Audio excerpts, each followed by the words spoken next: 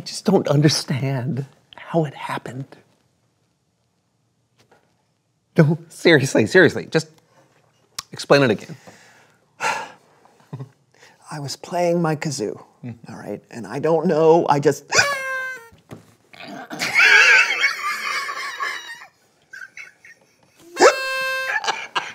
You swallowed a kazoo?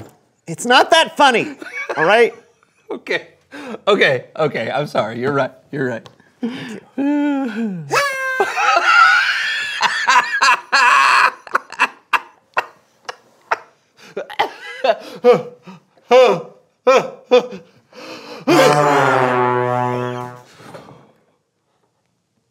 Did you? Never mind.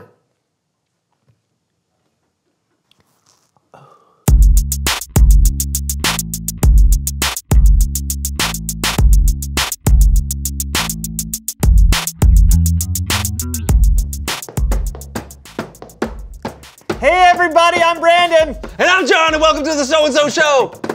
What are you doing? What? I'm just, I'm just playing some music. I love having musical instruments everywhere. Music, I, I would hardly call the desk a musical instrument, but that's okay. If you don't think this is a musical instrument, then what, what counts as one? Only flutes and pianos? Yeah. Anything could be an instrument. Look, look, look. That's really unpleasant. you know, one of our dear friends is an expert at an instrument that doesn't count as an instrument. So I'll show you. Please welcome someone who knows stuff. You Ray.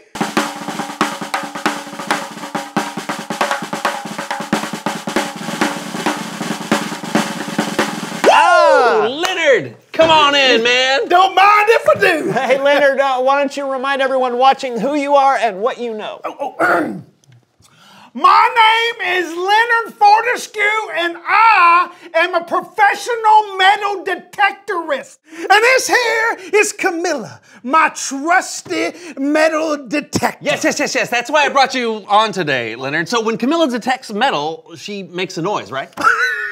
The kids scream when they find candy. Hot dogs and ice cream, of course they do. So yeah. So in a way, it's like Camilla is a musical instrument, and together you make music. Uh, uh, no, no, no. Uh, uh, I am metal detecting, and she is a metal detector.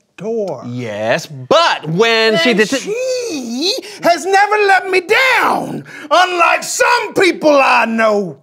Wait, wait, who let you down? Yeah, yeah. Was that person in this? It's not in this room, is it? Of course not. Oh, Can't even be in the same room with her anymore. Best friends? yeah, right. You you want to talk about it? No, Okay. Uh. it's her. Oh, your friend who let you down? Ex best friend. Yeah, she keeps following me around, trying to make me talk to her. Oh. Well, seems like talking it out would be a good idea. Yeah. Yeah, uh, please welcome someone who knows Leonard.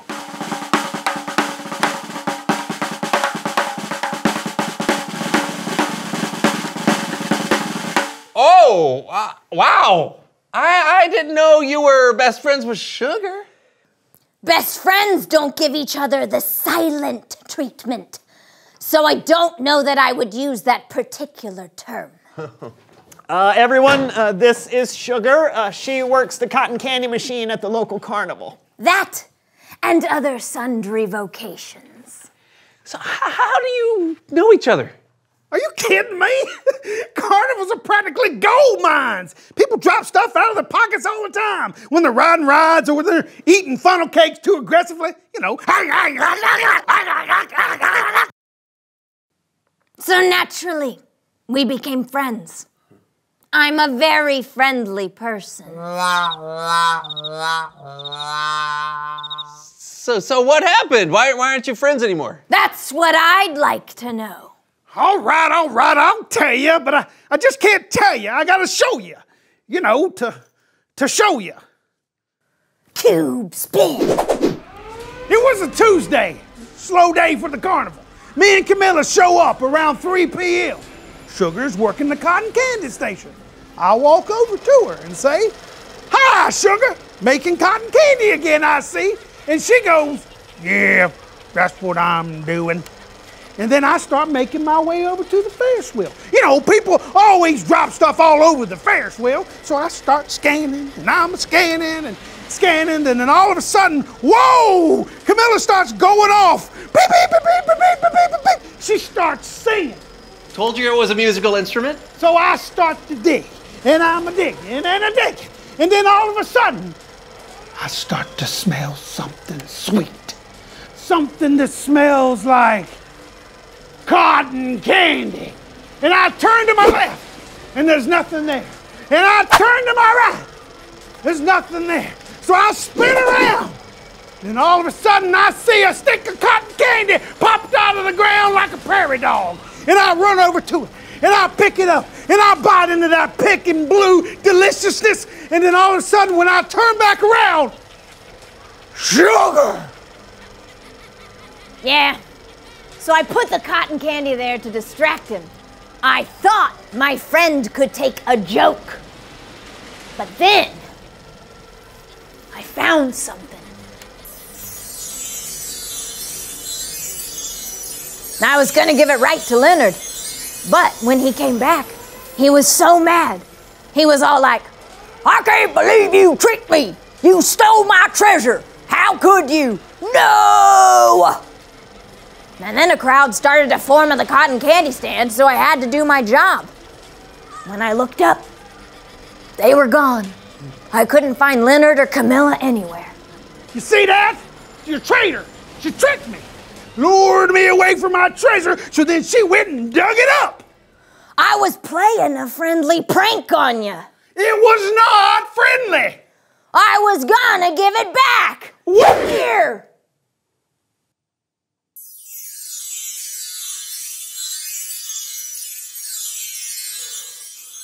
This may be the most valuable piece of treasure I've ever found. And you stole it from me. That's not what friends do. You gave me the silent treatment. That's not exactly friendly either. Uh, It's it's Bible story time with Kellen.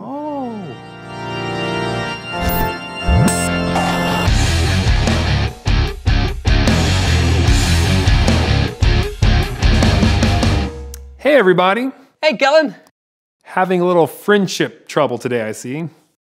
Yeah, it's not fun to be hurt by one of your close friends. But I think there's a way to fix this. And here to help show us how are a couple of my friends, Becky and Bathilda.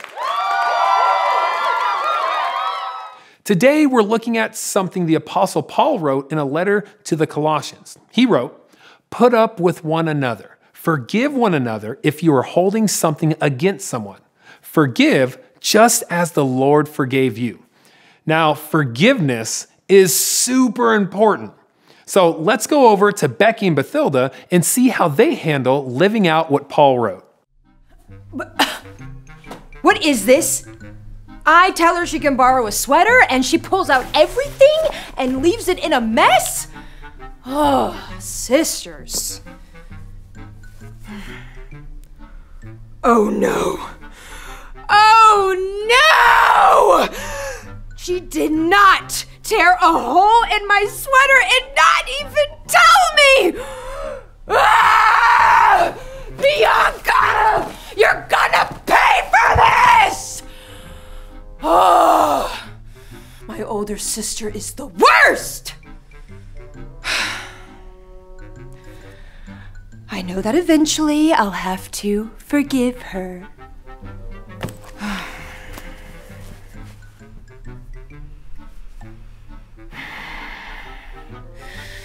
yeah, right. Bianca! Ah! Well, maybe Bathilda will forgive her sister eventually. But let's check in on Becky.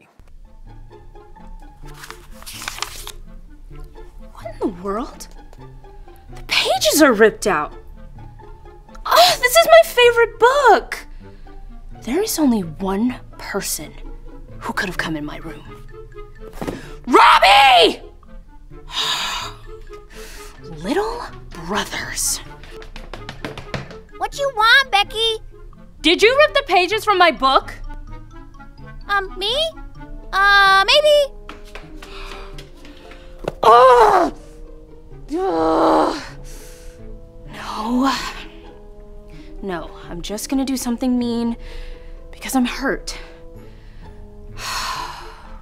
Oh, I know I should forgive him, but. Oh man, I am so upset right now.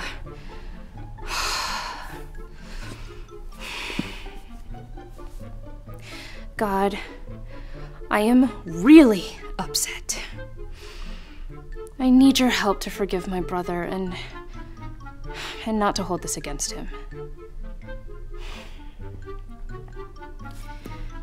Okay.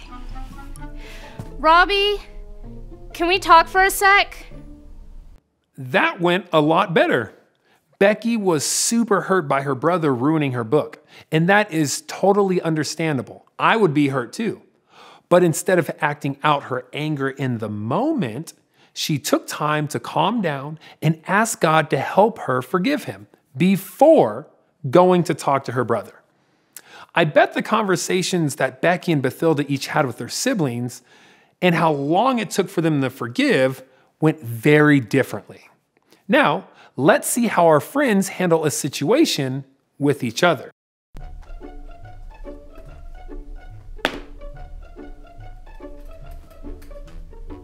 I texted you multiple times. Why haven't you responded? Hmm? Are you ghosting me or something? No, I just. I wasn't sure what to say, and then I got busy and I forgot. yeah, but I texted you three times. No response. That's not how friends treat one another. You're right. That wasn't very nice of me. I'm sorry. You're sorry? You know what? I'm gonna see how you like the silent treatment. Next time you need me, see if I reply to you! Shh, to you! Shh. Uh, shh.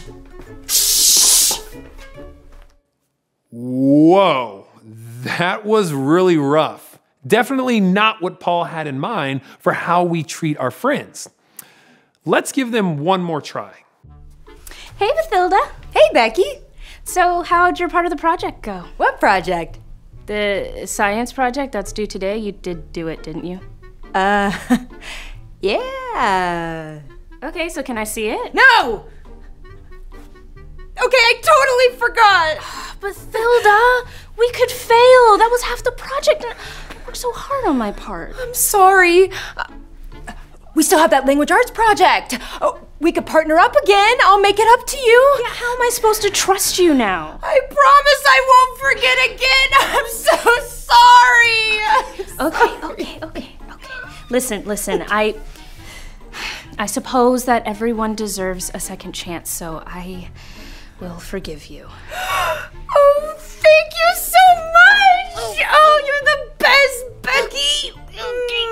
Mm. You know, maybe we science extra credit. Totally.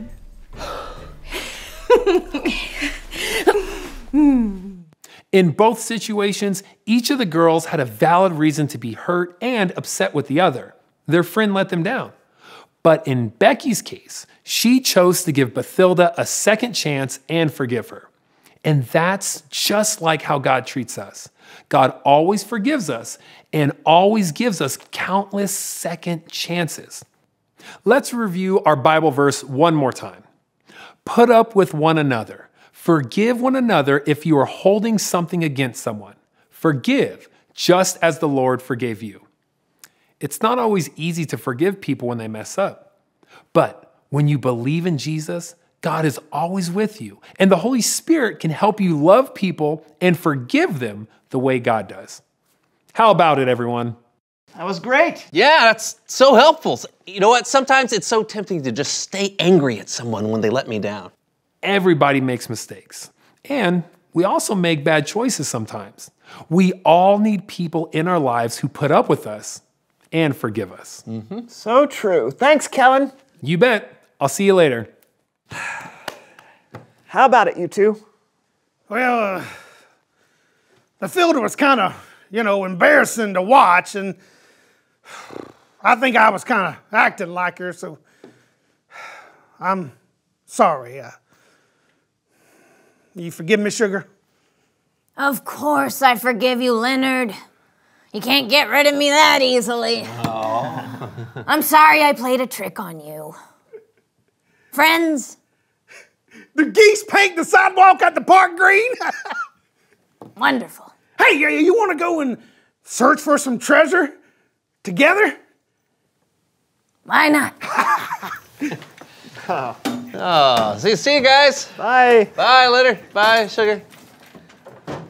I just love a happy ending. Yeah, I'm, I'm so glad they forgave each other. You know what? Forgiveness is so important. Oh, oh, oh, oh! What? Reveal the question. Ah.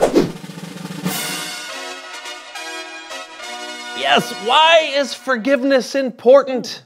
We saw some really good examples today. Yeah, like forgiveness can help friends stay friends mm-hmm. even if one of them messes up. Uh, yeah, and forgiveness helps you not be angry for too long. Yeah, Basically, it's super important. Mm. Uh, but now it's your turn to talk about why that is. Yeah, think about it, share it with each other, and we'll see you next time. I'm Brandon. I'm John. And This was the So and So Show. the So and So Show. I No, I liked it better the, the other way. The so and so. Yeah. That's very funny. Mm, did you swallow anything else? Yes. Wow. Let them figure that out. She kept picking up this loud something, and I realized it was the gold coming out of Byron's mouth. it was in his teeth. Oh, wait a minute. Oh, picking up something. Oh, I'm picking up something. What's this? Oh, look at that. It's a ringy zingy. It's An eye bolt. No, no, no. It's a ringy zingy because of the, the ring. There, see, see, look. If you put this into anything solid and you turn it clockwise, it can pick up any amount of weight. Anything at all. It's mm. amazing. It's probably worth about 750 on the open market. Mm, oh, I'll, I'll let you have it. Are you sure? Yeah. All right. Thank you.